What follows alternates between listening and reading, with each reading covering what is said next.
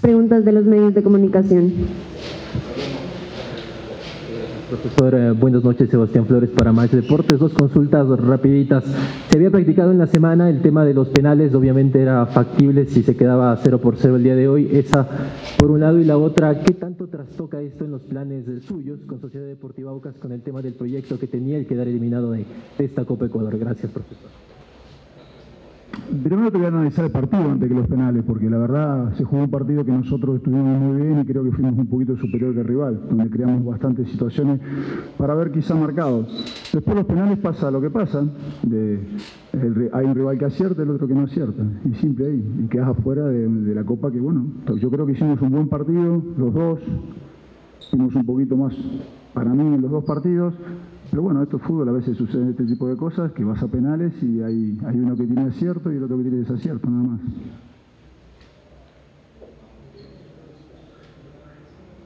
Profe, ¿cómo está? Omar Cruz del Mundo Deportivo le saluda.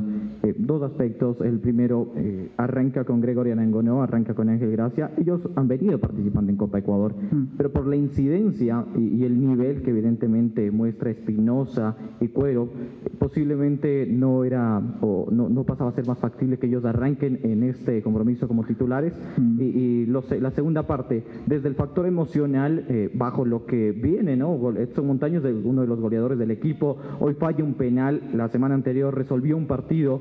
Eh, ¿Cómo trabajar en la parte emocional del jugador? Porque el fin de semana ya es contra Barcelona. Mm. Eh, el tema de, por qué jugó Gracia y por qué jugó Anangonó, es más, con nosotros ha jugado en esta característica más Anangonó que John Jairo, porque John Jairo tuvo citas con la selección, se fue al Mundial, o sea, ahí si contabilizar la cantidad de partidos que jugó Gregorio Anangonó y John Jairo, ha jugado más Gregorio Anangonó que John Jairo de titular con nosotros.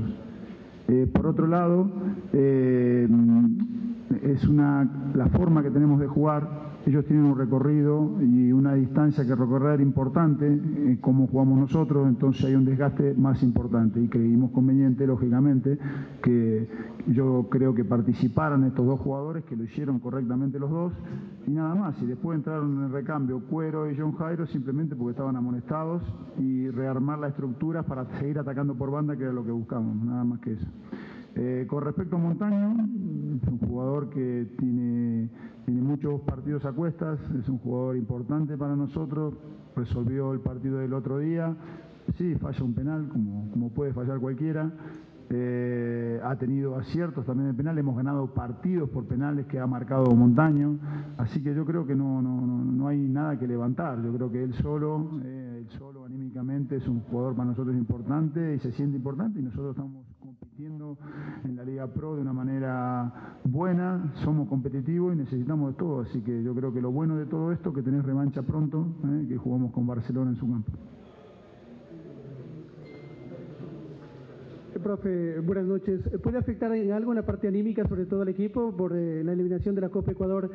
¿Y cuánto puede repercutir, sobre todo en, el, en la Liga Pro? Porque en cambio ahí están peleando cosas importantes y en la parte alta de la tabla. La parte anímica, a ver, lógicamente teníamos ilusión de pasar, pero la verdad, vuelvo a decir lo mismo que, dije ya hace un ratito, eh, la verdad que me afectaría a mí o al jugador, nos afectaría si vos ves, no ves respuesta de lo que hicimos dentro del campo de juego. Yo creo que hoy la respuesta fue muy positiva del equipo vuelvo a decir que fuimos un poco mejor que, el rival que, estaba en su cancha, lo superamos por momentos, lógicamente tiene una jerarquía el rival importante en sus jugadores, ha invertido para estar en Copa Libertadores y en tres competiciones de una manera que nosotros hemos, no, eh, hemos invertido, porque no estamos a la altura de invertir en una situación como ha invertido Liga, y hemos sido competitivos y seguimos siendo competitivos. Después, eh, lógicamente, eh, nos volvemos a meter en Liga Pro a partir de mañana, es así, esto de la competición también lo que tiene de bueno es que cuando tenés una, una, derrota hoy por penales como, como nos pasó, tenemos revancha nuevamente, así que siempre uno busca revancha, así que eso es lo bueno, que pronto la tenemos. Gracias por acompañarnos, profesores. fueron.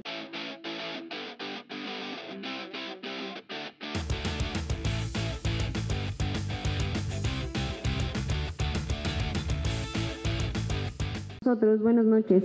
Vamos a continuar con las preguntas de los medios de comunicación. Profesor Repeto, buenas noches, Sebastián Flores para Más Deportes. Eh, consultarle acerca del tiempo de recuperación, se habló mucho que tuvo Liga jugando el domingo frente a Melec y ahora tres días después frente a Sociedad Deportiva Ocas por esta Copa. ¿Repercutió en algo el rendimiento de Liga hoy ese tema y lo otro cómo se encuentra Anderson Julio, puesto que recibió un duro golpe en el primer tiempo y realizó la variante? Gracias, profesor. Hola. Sí, eh, intentamos dar más frescura al equipo con algunos cambios, eh, algunos obligados, caso Orejuela, eh, Johan Julio, eh, y otro pensando que había que dar un poco de frescura, ¿no? El equipo también teníamos la baja de, Antonio que, que, estaba suspendido. Anderson tiene un golpe, no sé, hay que evaluar, esperar mañana, a ver cómo, cómo, qué reacción tiene, esperemos que no sea de gravedad y pueda estar el fin de semana. Eh, después, sí, no sabemos si, si se sintió el, el, partido el domingo eh, con, con. No podemos decir que sí o que no, porque es difícil, pero sí nos hubiera gustado tener un día más de descanso para llegar en igual condición que rival que, que jugó el sábado y, jugó miércoles, ¿no? Nosotros jugamos domingo con un viaje y jugamos miércoles, pero no, no podemos decir que, que eso haya hecho que, que no estuviéramos en un mejor nivel. Este, hoy fue un partido de vuelta, parejo, los dos tuvimos posibilidades, eh, intentamos, ellos con cada uno con su forma, ellos quizá con la característica que tienen de juego. Este, bueno, creo que fue una serie pareja que se termina definiendo con, con penales que sabemos cómo son, ¿no? que nosotros tuvimos más fino y por eso pasamos. ¿no? Profe, buenas noches. ¿Con qué se queda de este compromiso? Y sobre todo lo que hizo el equipo de Liga, la clasificación también sigue eh, compitiendo en este torneo de la Copa Ecuador como también en la Liga Pro. Sí, eh, nos quedamos con el pasaje de fase, ¿no? Eh, en el juego, no, no, la verdad que no nos quedamos conformes porque uno siempre aspira más. Tuvimos alguna situación pero fueron esporádicas, ¿no? Queremos ser un equipo más, que tenga más, más posibilidad de gol y, más, eh, más vértigo.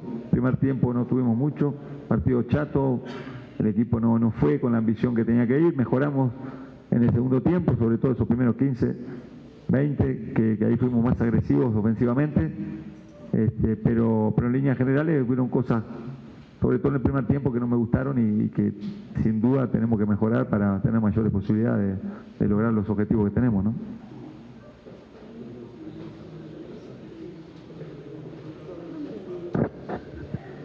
Profesor Repeto, ¿cómo está? Muy buenas tardes. Patricio Javier Díaz le saluda. Eh, ¿Podrían ser estos partidos de Copa Ecuador un pequeño abreboca? ¿Se puede pensar algo parecido en la Liga Pro ya cuando se vengan las semifinales? ¿Cree usted que los planteamientos, las ideas de los técnicos y de los equipos de alguna manera se van a replicar más adelante en la parte definitiva del campeonato? Sí, son partidos que, que tienen la misma característica ¿no? que lo que van a ser el playoff, de vuelta, con el gol de, de visitante, que, que, en caso de igualdad tiene una ventaja, el equipo que lo logra, o que lo logra, con la diferencia que, bueno, que nosotros en la... En, sí, vamos a jugar los playoffs, que todavía tenemos que clasificar. Cuando tengamos que jugar los playoffs, eh, quizá tengamos que jugar a ganar, ¿no? El empate nos deja fuera por la posición que estamos, ¿no? A no ser que, a que escalemos al cuarto lugar. Eh, de esa forma el, el, empate nos clasificaría, pero sabemos que hoy la realidad que tenemos es que en la serie, sobre todo primero en la primera, necesitamos de, este, si, si, se termina ahora, ¿no? De, un, de, un, triunfo, ¿no? Pero sí, te da un panorama de, esos partidos que van a ser así, ¿no? Y de vuelta, detalles definen, equipos que, que, bueno, que van a tomar precauciones, este, y, y, bueno, también por momentos equipos que van a arriesgar de acuerdo a la necesidad que tengan del resultado, ¿no? Profe, ¿cómo está? Buenas noches. Eh, hoy Omar Cruz a través de Mundo Deportivo. Eh, hoy arranca con eh, Aguirre y con eh, Martínez Borja. Normalmente no juega con dos centros delanteros. Eh, ¿Algún estudio, eh, la parte táctica de Sociedad Deportiva Aucas, por qué lo, lo, hizo? Después terminó modificando, ingresó Chicaiza y bueno, cambia la, la forma de jugar por parte de, de, usted. Y lo otro, estará enterado que, que, ganó Independiente en Brasil. Hay un tema afectivo con el equipo que, que le abrió las puertas acá en, en el fútbol ecuatoriano. Eh, su sensación al respecto de esto, una posible, una nueva final en otro certamen, ya no Libertadores, pero final a, que se puede dar también. Sí, eh, primero bueno que nosotros jugamos, intentamos eh, jugar con dos delanteros, porque Auca juega con línea de cinco y, y, la idea era, si íbamos por las bandas, llegar con dos jugadores al área, ¿no? Fue un poco tener un poquito más de, peso ofensivo y no tanto tenencia o tanto ese enlace, ¿no? Que nos diera ese pase a los delanteros. Después, bueno, Martínez Borja había hecho un gran desgaste, vimos que estaba cansado, el partido se había abierto, Chicay se había hecho un buen partido allá cuando jugamos con Aucas, este, y, bueno, la idea era que él este, fuera un poco el enlace y que también que llegara al área, ¿no? Porque también Martínez Borja había hecho un desgaste importante, este, y, bueno, buscamos con Aguirre que, fuera un poquito que tuviera el vértigo. Esa fue la idea. Se hizo los últimos 15, un partido de ida y vuelta. Eh, nosotros tuvimos, ellos tuvieron alguna chance también, este, pero como dije, el resultado creo que es justo y, y, bueno, los penales sabemos cómo son. Con respecto a Independiente, bueno, la verdad que una gran alegría, no solo este, creo una alegría para todo el país, ¿no? Que, que uno este, ve que las últimas performances de los equipos ecuatorianos a nivel de, de Copa Libertadores, Copa Sudamericana, este, son muy buenas, y ni hablar que Independiente se lo merece por, por el gran trabajo que viene haciendo hace años. Y bueno, seguramente tiene muchas chances de jugar la final y jugar nuevamente una final creo que, es un orgullo para todos, así que contento y felicitar a todos, ¿no? a todos los que hoy están independientes, seguramente los que no estamos también, este, no felicitarnos, pero, pero sí estamos empujando para que se pueda lograr un título increíblemente, Independiente, si sea como sea un poco la lógica, debe ser histórico de que juegue dos finales a nivel internacional y que no haya juego una final a nivel local, ¿no? Récord mundial debe ser. Pero bueno, ojalá que el primer título sea internacional, ¿no? Gracias por acompañarnos, profesor. Bueno, Esas fueron gracias. todas las preguntas. Agradecemos a los medios de comunicación.